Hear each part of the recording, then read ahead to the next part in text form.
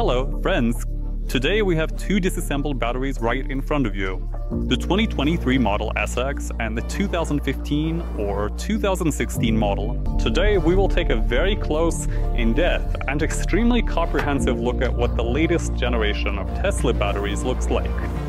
Let's discuss in detail the various ways we can kill a Tesla battery, how to choose a car with an undamaged Tesla battery, and also which distinct types of Tesla battery is the most expensive thoroughly.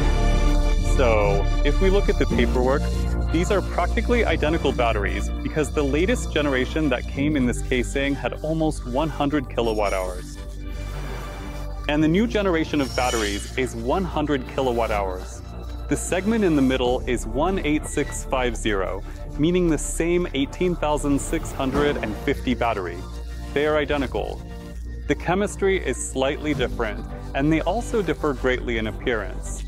And this is the specific and clear difference, the main point, and what distinguishes them from each other, and how they need to be chosen differently, and the different nuances you need to pay attention to when you buy one car or another from a particular year.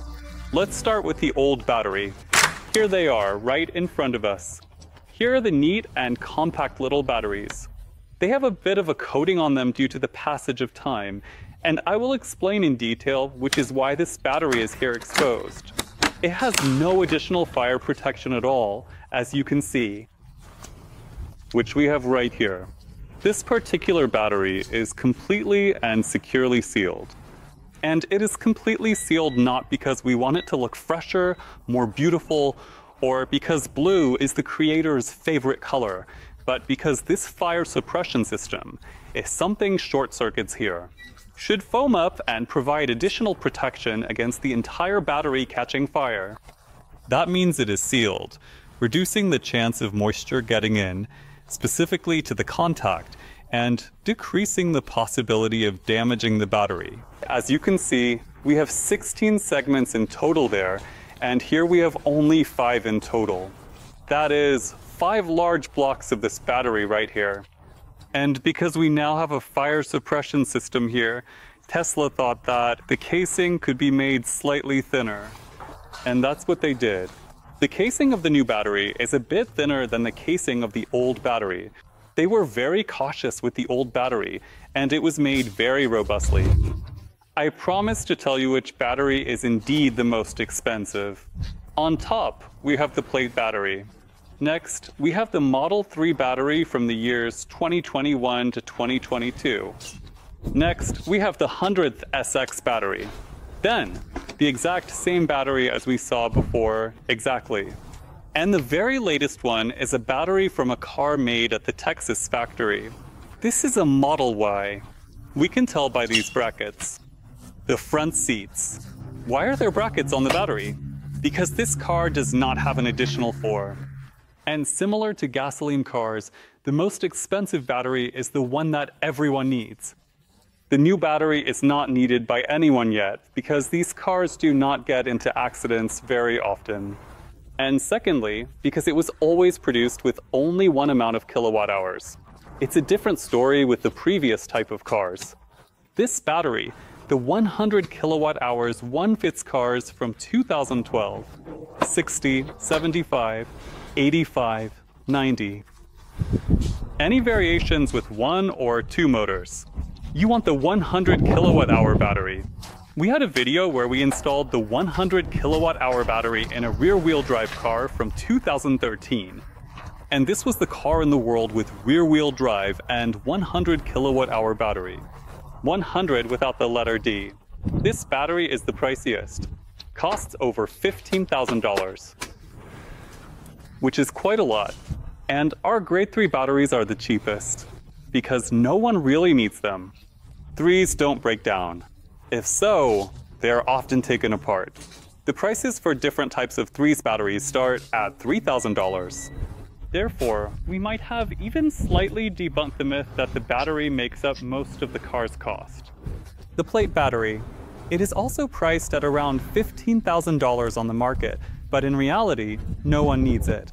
So if you want a Plaid battery, I recommend you contact the seller and offer a more reasonable price, because they definitely won't sell it anytime soon. Most Tesla batteries are designed to last for a period of around 10 years, regardless of the amount of driving or the distance you cover with them. That is, even if you drive a lot, it will still last 10 years. It actually degrades a little more, and this little more is literally just a few tenths of a percent. So, if you initially have a 100% battery, after a couple of years you will have a battery at about 97%, and after 10 years of heavy use, it should still be more than 90%. Because both of these batteries have cooling systems, and that is literally the most important thing that sets them apart from your phone batteries. Because most of you compare batteries to phones, iPads, MacBooks, and so on. But the difference is that the batteries in iPads, MacBooks, and phones do not cool down. Because of this, the lithium deteriorates and dies. This might raise a question for the most attentive among you. So why are both of them disassembled? They are both disassembled because, essentially, the only way to harm them is to physically damage these batteries. They have very different fates and completely different reasons why these machines ended up here, but the story is essentially the same. This machine came to us because it was hid in this part, meaning there was a substantial impact. This particular machine was actually purchased by a dealer at an auction. So, what did we do here? We disassembled it, welded its casing, everything is welded. But since whoever damaged this battery somehow continued driving further, I don't think it'll last long, as there's also some corrosion.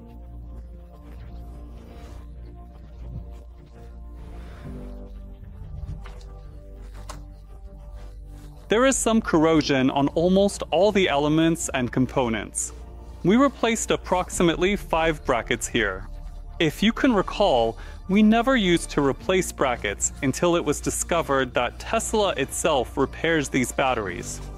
This surprised me quite a bit, and now we sometimes allow ourselves to repair batteries for external clients, to be honest, in our workshop on a regular basis.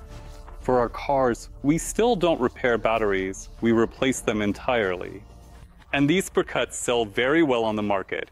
People use them in homes and so on. If you damaged the battery, if you got a crack in it, the impact was serious enough, meaning that when the battery was damaged, the wheel most likely came off as well. The wheel is put back in place, the battery was ignored, and the car was sent to auction. So once again, for those looking for a car at an auction, don't try to buy a car that's as intact as possible, just with some slight scratches and so on. There is definitely some catch in it, and indeed, this catch could potentially cost as much as the car itself. The next battery. This is a very recent story. A very recent battery. And it was damaged because the truck driver who was transporting the car to us, unfortunately, thought it was a good idea to place the car with its full weight on something sharp due to his negligence, which resulted in significant damage to the vehicle during the transportation process. The driver carefully loaded the item into the vehicle.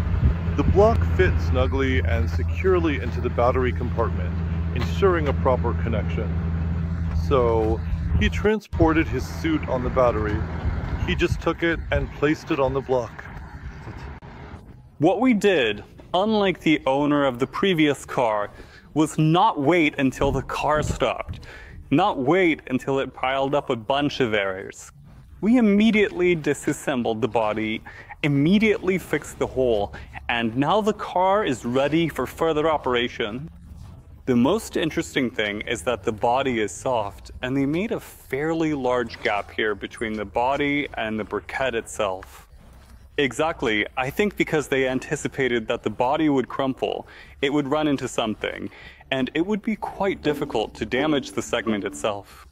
It's definitely a little bit more straightforward with these cars compared to the previous ones because here, the body is 3 to 4 millimeter steel, which is not so easy to damage. Well, I hope I shed some light on these myths regarding batteries, because a lot of people are currently looking for Tesla cars and asking very strange questions. For example, how many miles or kilometers does your dashboard currently show at this moment right now? This is, in fact, a strange question because it actually shows exactly how much you or the previous owner can approximately drive the car. That is, it is not a specific unchangeable number that pertains to the health of your battery. This is a figure calculated by the computer based on how you have been driving previously in the past. So, it's a strange question. And it's not an iPhone battery. Therefore, if one or two years have passed, this battery is in excellent condition. You just need to check the car's history. If it was hit and the impact may have hit the bottom of the car, it needs to be inspected. So how can you kill the battery if you don't want to physically damage it? You should go to the track frequently and then constantly charge at a supercharger. Then go back to the track and charge at the supercharger again. The battery is prone to degrade because it won't have enough time to cool down properly. And what you might have noticed, I hope, is this cable that goes from the battery to the car. This allows us to repair batteries faster and deliver cars to you more quickly. And you can definitely find footage of this car moving its wheels with a standalone battery on our Instagram. The link is in the description. Subscribe to this channel. See you in the next very important videos for you. Bye.